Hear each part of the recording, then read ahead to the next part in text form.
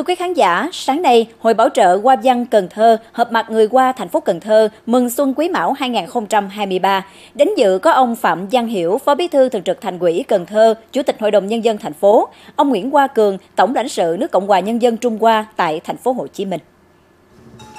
Trong thời gian qua, Hội Bảo trợ Hoa Văn thành phố Cần Thơ đã nỗ lực làm tốt vai trò phát triển cộng đồng người Hoa Cần Thơ, đoàn kết chăm lo sự nghiệp giáo dục và công tác từ thiện xã hội. Theo đó, hội vận động mạnh thường quân ủng hộ kinh phí, hỗ trợ điều trị bệnh cho người già neo đơn, đóng góp ủng hộ xây dựng và sửa chữa nhà đại đoàn kết cho người nghèo, tham gia cứu trợ thiên tai lũ lụt miền Trung, xây dựng trường Việt qua tại Cần Thơ. Ông Phạm Văn Hiểu, Phó Bí thư Thường trực Thành ủy Cần Thơ, Chủ tịch Hội đồng Nhân dân, khái quát những kết quả đạt được về kinh tế xã hội của thành phố trong năm qua, đồng thời ghi nhận những đóng góp thiết thực của bà con cộng đồng doanh nghiệp người qua.